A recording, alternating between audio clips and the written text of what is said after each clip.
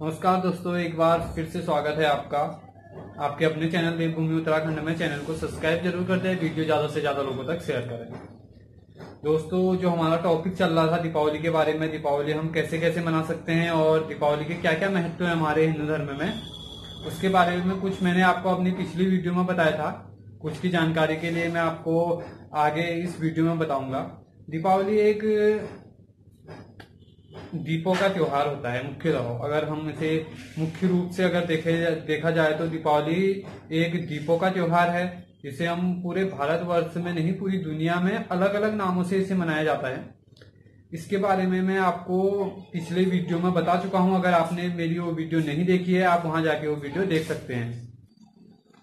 आइए दोस्तों, आज की वीडियो हम बताते हैं कि किस बारे में, किस टॉपिक पे आज की वीडियो मैंने बनाई हुई है। दोस्तों, आज की टॉप, आज का मुख्य टॉपिक है जो है पर्यावरण प्रदूषण, जो दीपावली के दौरान आपको बहुत ज़्यादा देखने को मिलता है। हमारे उत्तराखंड में पेड़ पौधे बहुत ज़्यादा मात्रा में हैं, इस वजह से यहाँ उतना पर्यावरण प्रदूषण नहीं होता। लेकिन अगर आप दिल्ली जैसे हमारे देश की राजधानी में चले जाएँ तो दोस्तों जैसे कि हम बात कर रहे थे दीपावली के बारे में, दीपावली क्यों मनाते हैं और इसका क्या क्या महत्व है और पर्यावरण प्रदूषण इसका क्या है, क्या विशेषता है पर्यावरण प्रदूषण की इसकी इस बारे में मैं आपको अपनी इस वीडियो के माध्यम से बताऊँगा। तो दोस्तों, मुख्य मेरा उद्देश्य ये है कि जैसे दिल्ली शहर में देखिए आप, दिल्ली में देखिए हमारे देश की राजधानी है, लेकिन वहाँ अभी पर्यावरण प्रदूषण बहुत ज़्यादा मात्रा में हो चुका है, क्योंकि जो हरियाणा है, वहाँ से लोग जो है, वो पराली जो हमारी होती है, धान के बाद वो जलाते हैं तो उसके पर्यावरण प्रदूषण उससे फैल रहा है, वहाँ उसका धुआँ आता है हवा से, और वो, और ट्रैफ़िक इतना ज़्यादा है दिल्ली में, इसकी वजह से पर्यावरण प्रदूषण पूरी तरह प्रदूषित हो रहा है। तो दोस्तों, अगर हम, मेरा मानना यह है, अगर हम पेड़ लगा नहीं सकते, जो हमारे पास बचे हुए हैं, हमें उन्हें संभाल के रखना है, पहली बात, और दूसरी बात, अगर हम पेड़ लगा नहीं सकते तो हमें ये जलाने का कोई एक हिसाब से राइट नहीं है, कोई हक नहीं है हमको।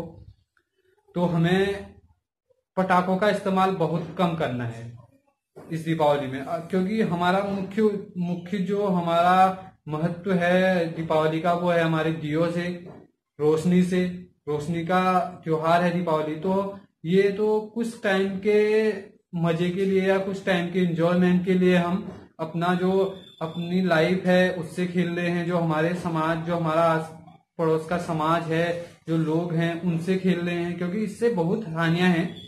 बम बम, पटाखे और रॉकेट जो हम नॉर्मली यूज़ करते हैं दीपावली में, इन चीज़ों से हमारे वैसे अगर जीवन उसमें देखा जाए स्वास्थ्य के, स्वास्थ्य से संबंधित अगर हम इसको देखते हैं तो बहुत हानिकारक है।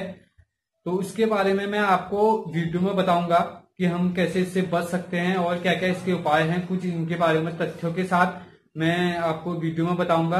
तो आइए वीडियो शुरू करते हैं।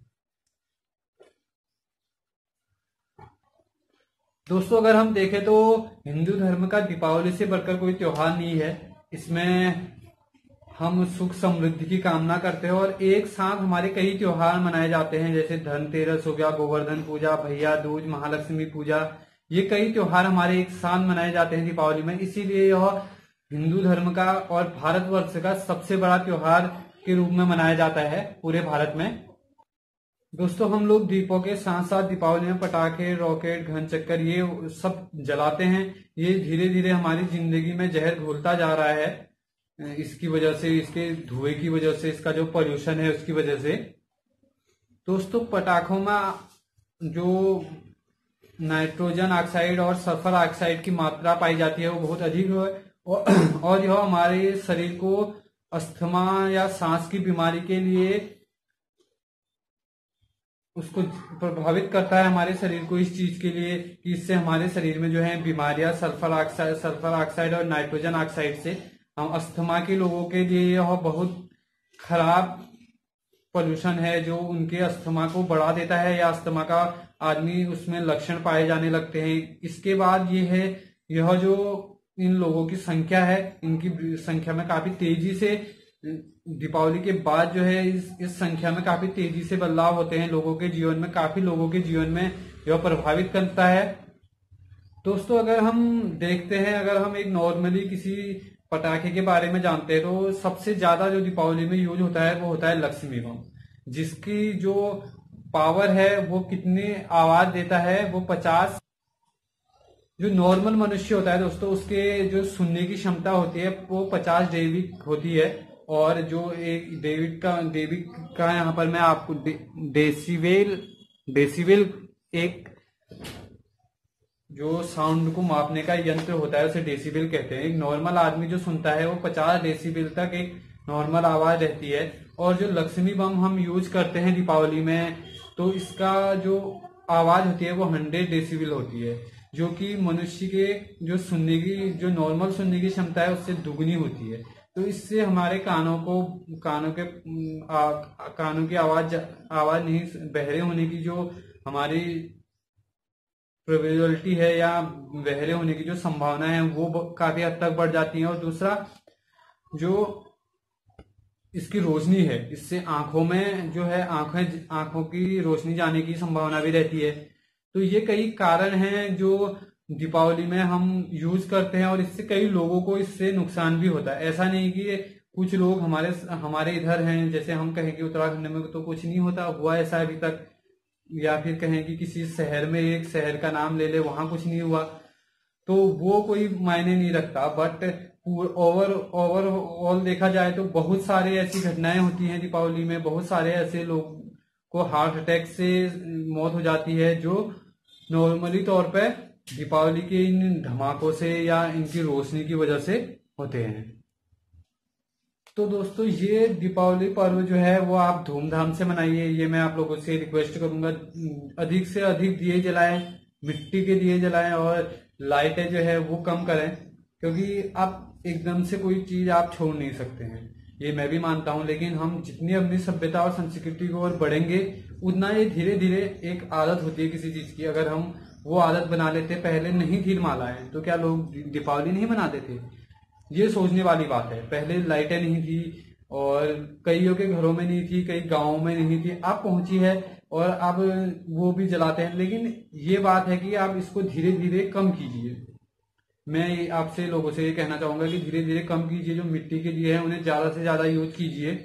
पहले टॉपिक से ही दीपावली के मैंने यही आपको बताया था कि दीपावली में मिट्टी के दियो का इस्तेमाल करें, लाइट की, लाइट को कम करें, बहुत कम, जो मैनुअली हमारे घर में जलती है नॉर्मल तौर पे, उस उन लाइटों का यूज़ करें और जो वैसे चलती हैं, उनका जो लाइट की मालाएँ आती हैं, जो कॉस्टली होती हैं और एक कॉस्टली भी नहीं होती, बीस तीस रुपए की होती है नॉर्मल सा एक आदमी कोई भी खरीद लेता है, लेकिन तो उसको बचाने की कोशिश कीजिए, जितने भी हो सके इन लाइटों का उपयोग कम कीजिए।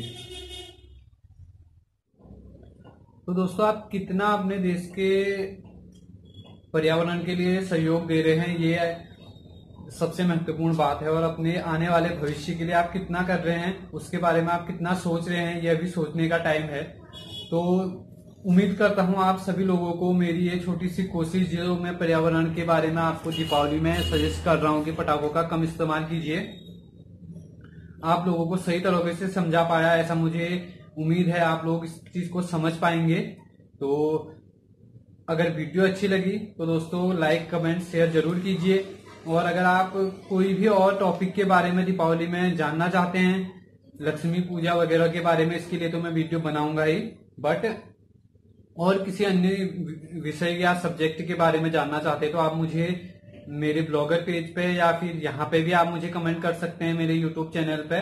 नीचे बाकी अगर आप और अधिक जानकारी किसी भी टॉपिक पे जानना चाह रहे हैं तो ब्लॉगर पेज वेबसाइट दोनों का लिंक मैंने आपको नीचे दिया हुआ है।